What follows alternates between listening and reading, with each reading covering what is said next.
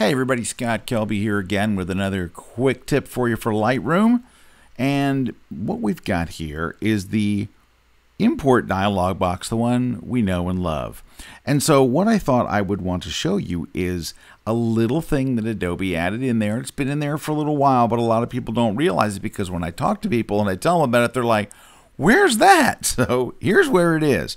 When you are importing photos, you weren't always able to do this because this is relatively new. But instead of just importing into a particular location, you can actually import directly into an existing collection. So, for example, if you had a collection on travel photography or you created a collection on a trip that you're on or whatever, you can just go over here and this is brand new over here add to collection, right? It's like a whole new little thing and it looks very like you'd hardly notice it. It's very subtle, but when you click on it, now it's like, okay, well, here's the collections you have on this computer.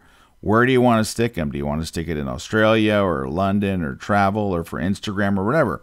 You just choose the one you want, hit import, and those images go into that exact collection that you have right there in Lightroom. So it's just a little quickie today.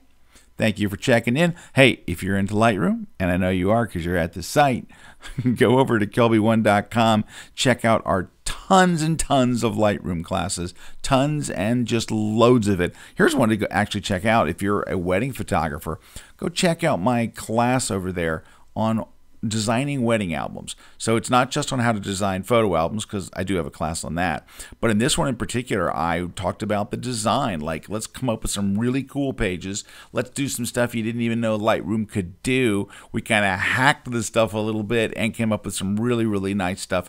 And if you're a wedding photographer, you will find it very, very helpful. Go to kelby1.com, take the 14 day free trial, check out my class, tell me what you think. It's free Go watch it right now. You can watch it free for like 10 days or something.